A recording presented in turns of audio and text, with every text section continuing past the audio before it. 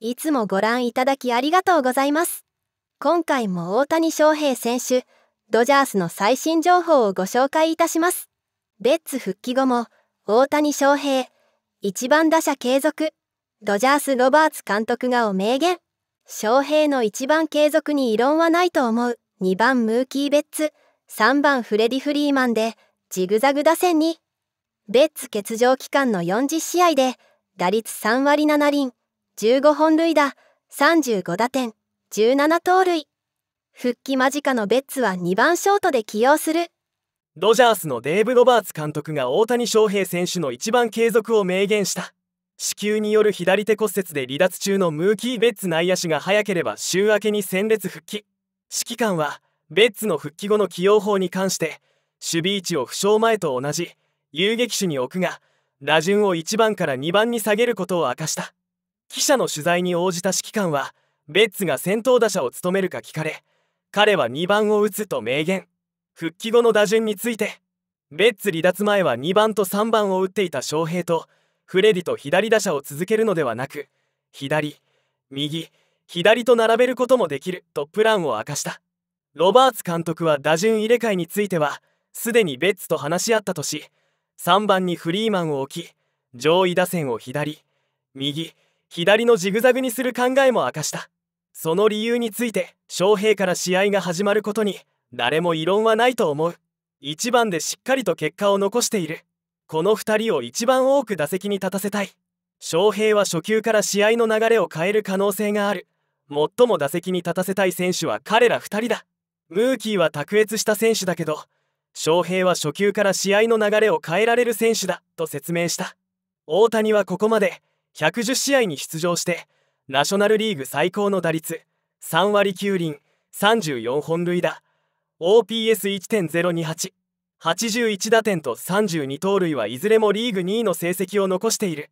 またベッツが離脱した6月18日から前日まで40試合連続で1番で起用され質の高いパフォーマンスで打率3割7厘15本塁打35打点33得点。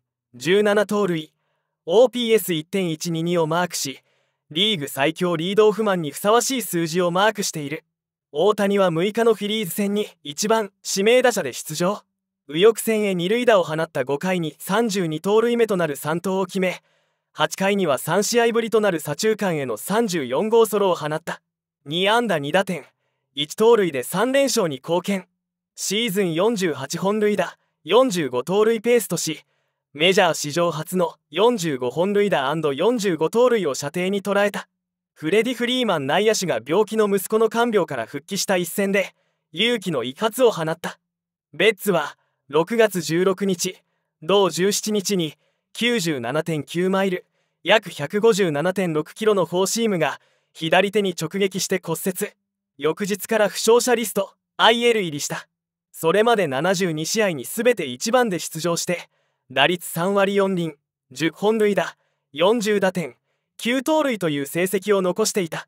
この日痛みは何も感じないと話し順調な回復ぶりを見せている。またロバーツ監督はポジションについて遊撃手として考えている。ミゲル・ロハスは遊撃をプレーするけど3塁や2塁も守ることができる。と話した。また離脱後2度目のブルペンに入り約30球投げた山本由伸投手を12日同13日からの遠征に帯同しミルウォーキーで打者相手に登板することを明かした。山本は右肩腱板損傷で60日の負傷者リスト入りしており9月中旬の復帰を目指しているとされる。この日はアンドリュー・フリードマン編成本部長が米大リーグ専門局 MLB ネットワークのインタビューに応じ大谷の今季の外野手起用に否定的見解を示した。昨年9月に2度目の右肘手術を受けた大谷は指名打者で出場しながら来季の投手復帰に向けてリハビリ投球プログラムを続けている。フリードマン編成本部長は翔平大谷が野手でプレーする可能性はの問いにまだそこまでは考えていない。私はそうは思わない。翔平の右腕が非常に重要なのは明らかだ。